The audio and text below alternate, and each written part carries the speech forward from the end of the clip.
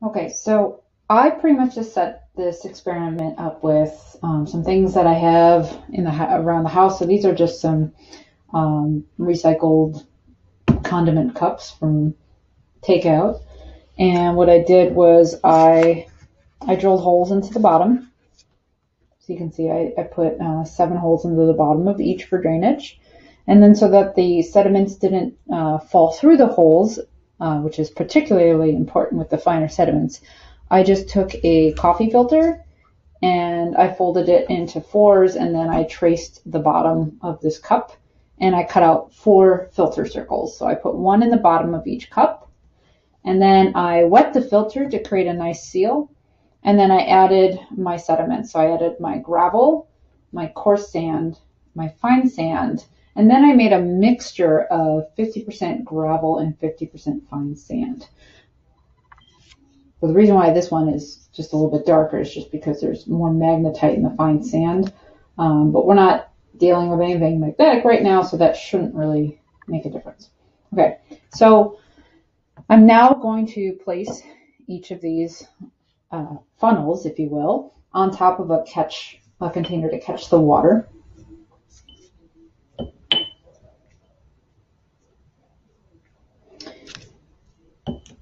And I'm going to run water through these before I begin the experiment.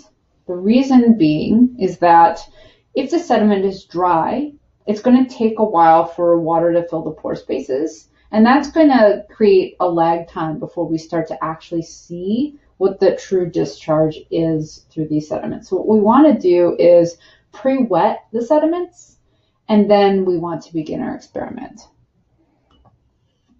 So I'm just going to run some water through these. And this part, it's not particularly crucial to have the exact same measurement that you run through here.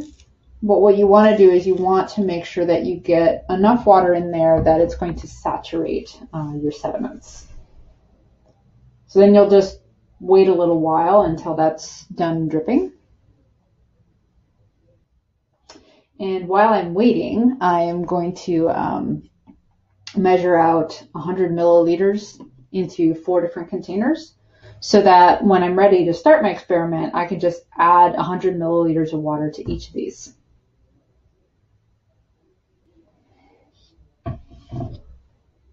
All right, so as these are uh, finishing dripping, we're just going to dump this excess water into a little waste container over here. And then this will be ready to go uh, for when I start the experiment. I'll wait for the rest of these uh, to finish up and then we can start.